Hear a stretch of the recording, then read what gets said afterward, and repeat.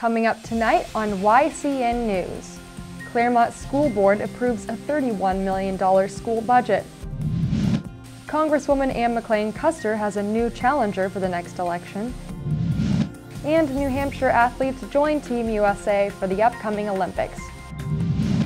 For more news, weather, and sports, it's time for YCN, your local view. Now, your daily digest of the Dartmouth Lake Sunapee region, southern Vermont, and Windsor County. News, sports, weather, and all that is happening in our area. The news on YCN, your local view. Good evening, and welcome to this Thursday edition of YCN News. I'm Rose Spillman. Claremont School Board Wednesday night approved a $31.1 million school budget for voter approval. Voters will have the chance to review this at the February 3rd public hearing. The meeting will be held where the school board meets at the Sugar River Valley Technical Center in Claremont near the middle school. Of the five board members present, all agreed with the $31 million proposal, although board member Heather Irish had some reservations about approving money for three new staff members at the city's three elementary schools. Money in the budget funds all school needs except for some items which will be on a separate ballot as warrant articles. On a related school note, the contract between Johnson Controls and the Claremont School District is in place. It has taken since last year for this energy savings plan to be worked out. The goal of the GCI contract is to save money on electricity and heating. Those savings will go back into the school district to cover building renovation issues. A feasibility study may soon be underway to see if full-day kindergarten should be offered in Cornish, Unity, and Claremont. Those three schools comprise SAU 6. After the break, we'll hear about the Republican competitor who will run against Congresswoman Ann McLane Kuster and the local New Hampshire athletes who will be representing the U.S. in the upcoming Olympics. The YCN News continues in a moment. Welcome back to YCN News. I'm Rose Spillman. The Associated Press reports that Congresswoman Ann McLane Kuster will have another challenger. State Representative Marilinda Garcia, a Republican from Salem, announced Wednesday she is running for New Hampshire's 2nd District seat. Garcia will now compete with former State Senator Gary Lambert for Kuster's seat. A group of volunteers say Hartford, Vermont should fluoridate its tap water. This group is being led by Beth Kopp of the Upper Valley Oral Health Coalition, reports the Valley News. Kopp said Wednesday night that getting fluoride in the water gives all children drinking it an advantage. Kopp also said the Centers for Disease Control calls fluoridation one of the 10 greatest public health advances of the 20th century. A White River school nurse, Jeanette Hutchins, says fluoridation doesn't take place of good dental care and doesn't take place of good oral hygiene, but it does go a long way. Hartford and Claremont do not fluoridate municipal water supplies. The Hartford Select Board will look into the group's proposal.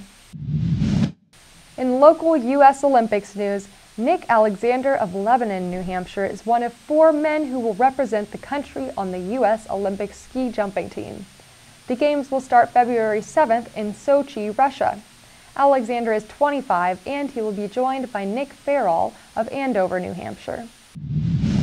In Charlestown, a Dollar General store may be coming to this town, reports the Eagle Times.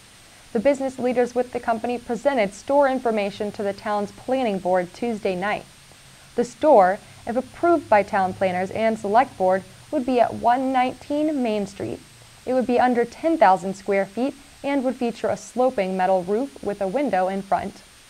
Planning board members are looking into a traffic study if this company does set up shop in Charlestown. My name is Cindy Logan. I own and operate the Fox Stop as well as the Red Fox Inn in Bondville. My passion for pie uh, was born when I moved to Vermont in 1975, and I've been making pies ever since.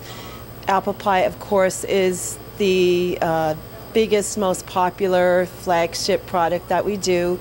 But we do do seasonal pies all year. We do berry pies in the summer and the pecans and the pumpkins during the holidays. But apple pie is by far the most popular.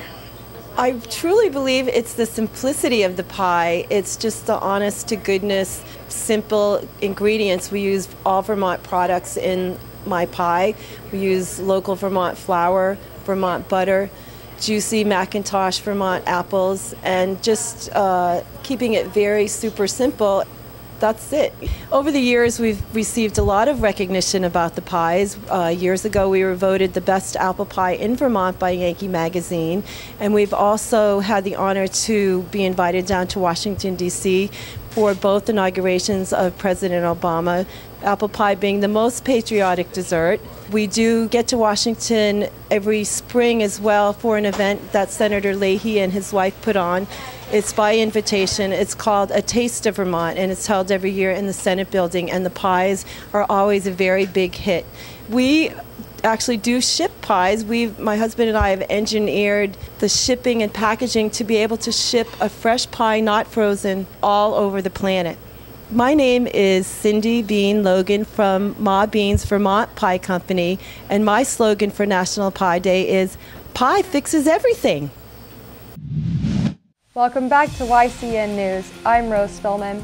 Now Matt McDonald will have a look at our weather for the next five days, and he'll take a look at some local high school sports. Thanks, Rose. Tomorrow we're expecting sunny skies with temperatures between 12 and 5 degrees.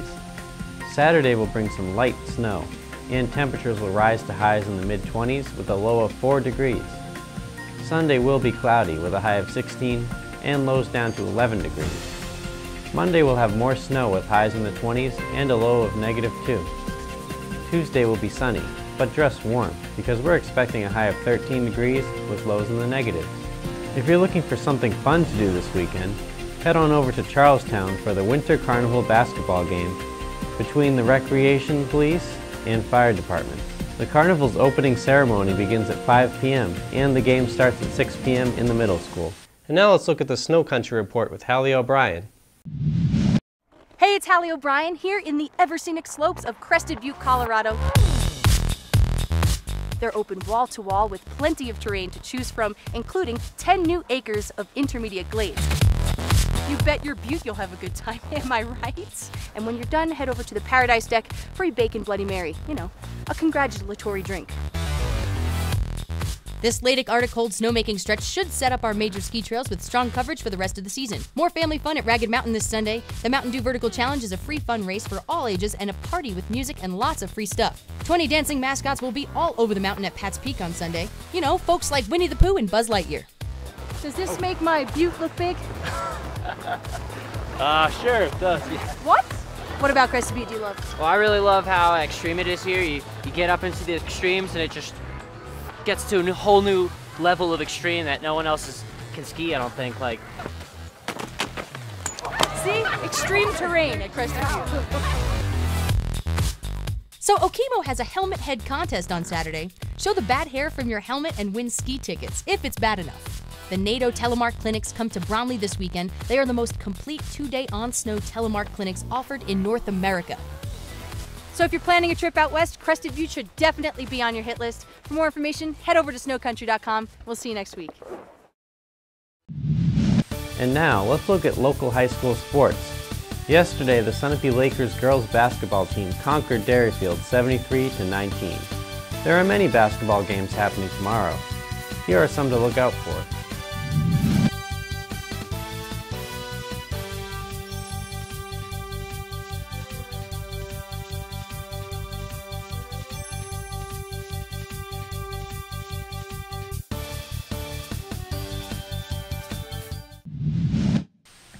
Thank you for joining us for this Thursday edition of YCN News.